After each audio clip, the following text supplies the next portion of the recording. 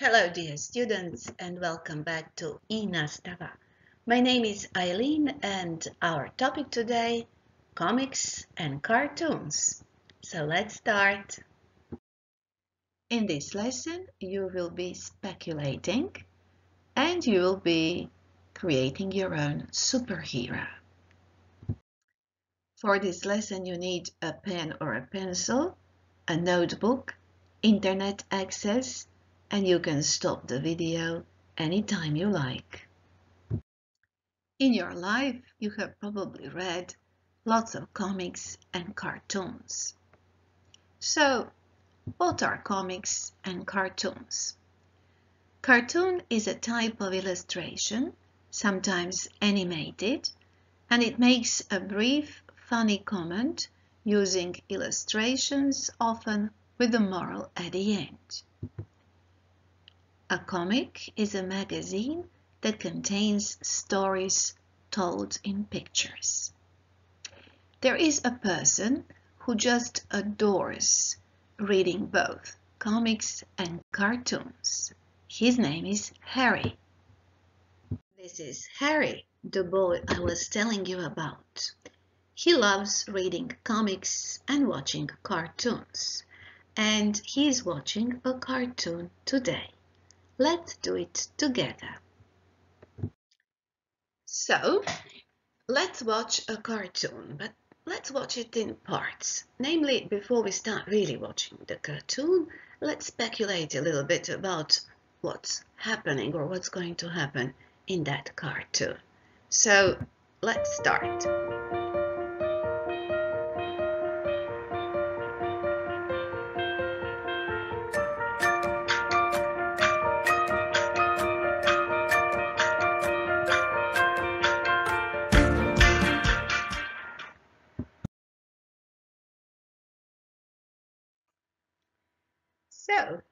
Harry, what is happening here?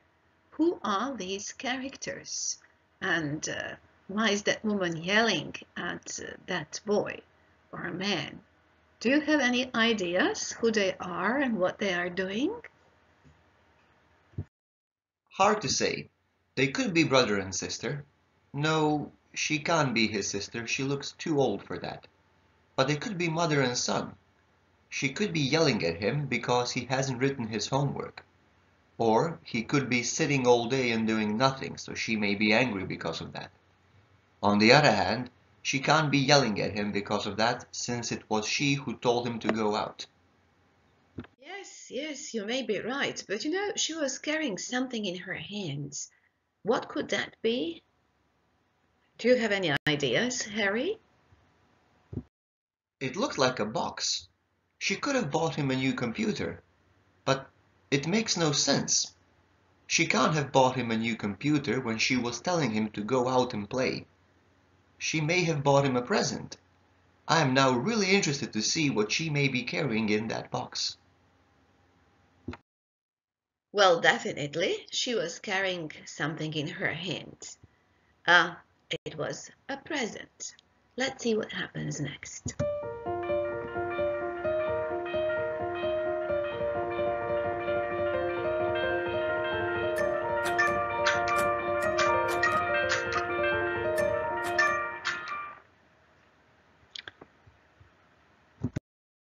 You are absolutely right, Harry. It was a present.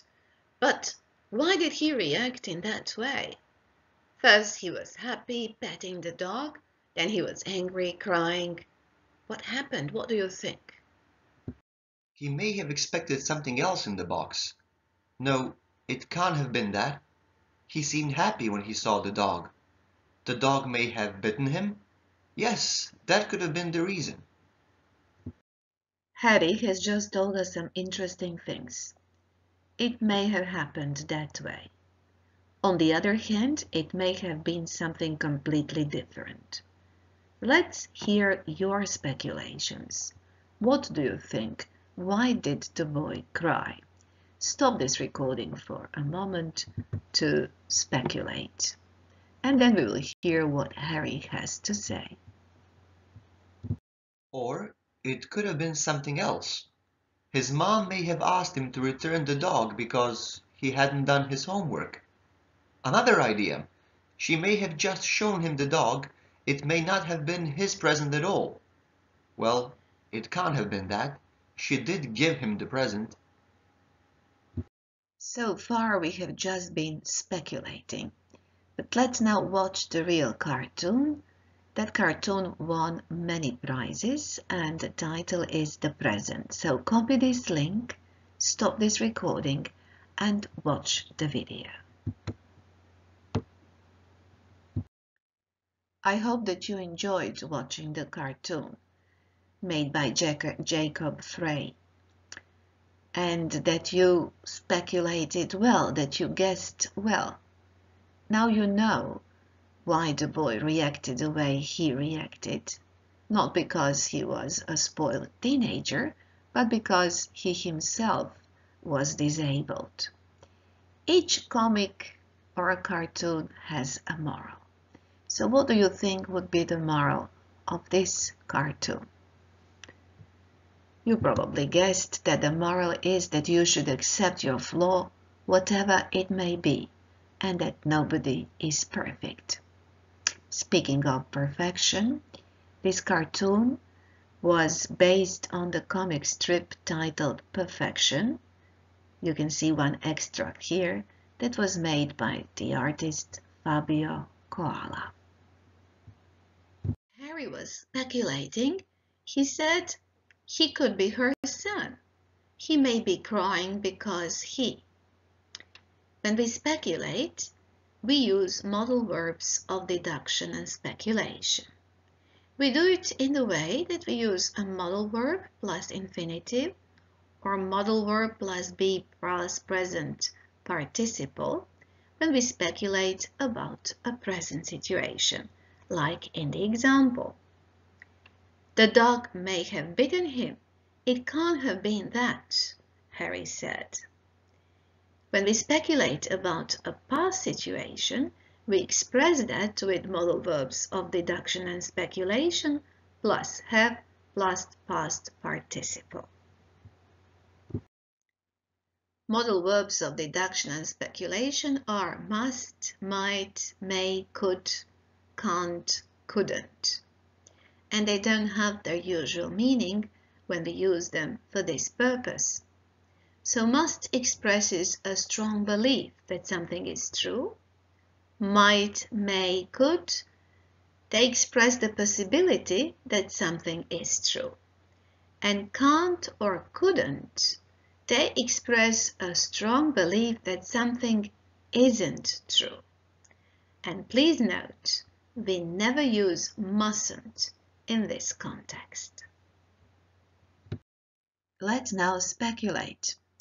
Your task is first of all to copy this in your notebook and then to use the modal verbs of deduction to speculate about the events that happened in the cartoon. So stop the recording in order to do your task. Let's now check what you have written. The boy pushed the dog he himself may have been pushed that way by his peers. Mother yelled at her son. She can't have wanted to hurt his feelings. She must have tried to help him. The boy went out to play. The dog may have given him confidence. In future, the boy may be playing every day with his dog and he definitely can't be feeling lonely anymore. Enough with cartoons. Let's now go to comics. Have you ever read a comic? I'm sure you have. When I was a child, I used to read comics all the time. My favorite one was written by a writer called Peter O'Donnell, and those were comics about a secret agent called Modesty Blaise. Today we're not going to talk about secret agents, we're going to talk about superheroes. So lay back now in your chairs, relax, and watch the short video that follows.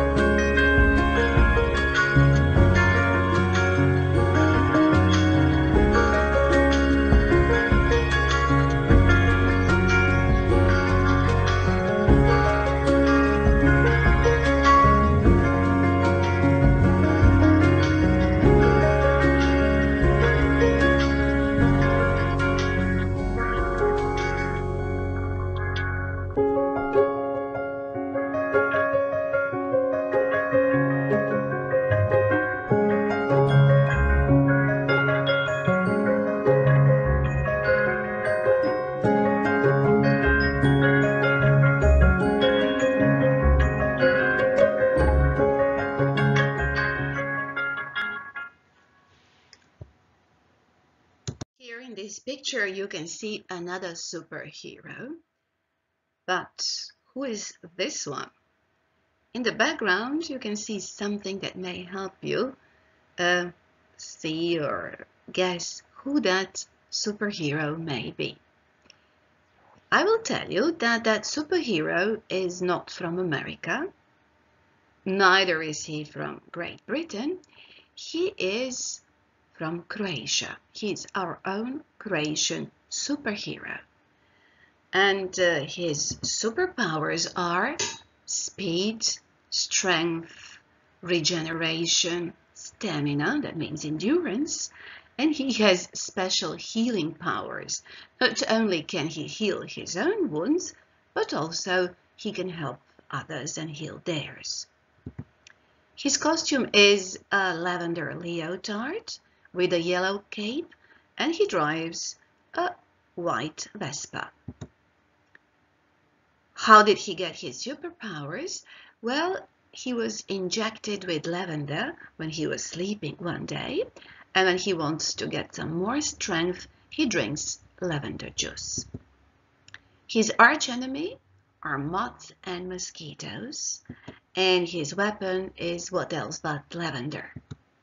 His mission is to free the world from insects, mostly mosquitoes and moths. He's famous for being irresistible to women, and his land of origin is Dalmatia land. It's interesting that in that Dalmatia land there is special currency. It is one tovar. Uh, it means donkey. So who is this superhero? Have you already guessed his name? Well, his name is Lavender Man, our own Croatian superhero. As we have seen with Lavender Man, superheroes have certain qualities. So when we talk about them, we mention their superpowers, their costume, how they got their superpowers, who their arch enemy could be, weapons they use, their mission in life, what they are famous for, and the land of their origin, or if not land, the town, or sometimes the planet of their origin. Today, your task for your homework will be something similar.